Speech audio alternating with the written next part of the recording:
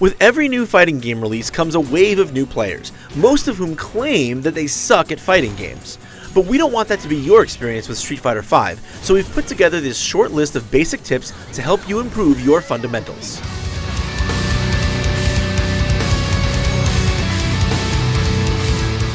Jumping is a bad idea in Street Fighter.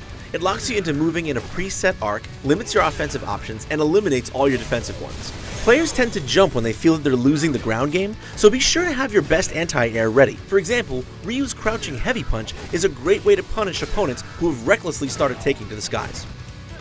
Footsies are when two players try to outpoke each other with their best normal attacks, very often involving their feet. The first thing you should do when picking up a new character is identify their fastest, farthest reaching normal attacks. Practice using these at their maximum ranges to chip away at your opponent and to control as much space as you can. Ryu's crouching medium kick and Birdie's standing medium kick are both excellent examples of good footsie tools. Now let's talk combo theory. Combos allow you to maximize the damage you deal per opportunity you find. Even learning a basic two-hit combo to hit someone with when they're open can greatly improve your win rate. The most basic way of forming a combo is to cancel a normal move into a special one by quickly inputting the command for the second move immediately after the first. Keep in mind, not every normal move can be cancelled in this way, and which ones can be is different from character to character. Experiment with cancelling a variety of your character's normal moves into special ones, like Ryu's crouching medium kick into Fireball. Learning what to do when you or your opponent have been knocked down is essential. When you're on the ground, opponents will try to pressure you as you stand up, or wake up. Identify a good reversal move to wake up with to make aggressive opponents pay.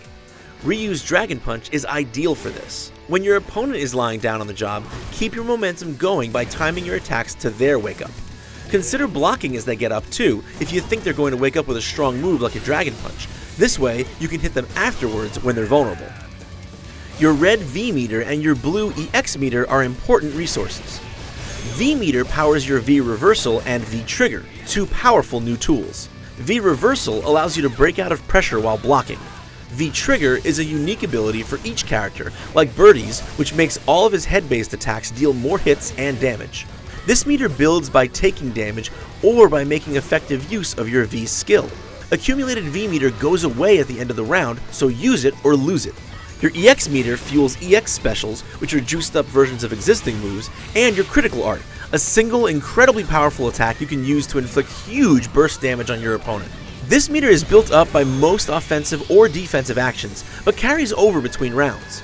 Sometimes, if you're about to lose a round, it's best not to burn any meter on an improbable comeback and just save it to come out strong next round.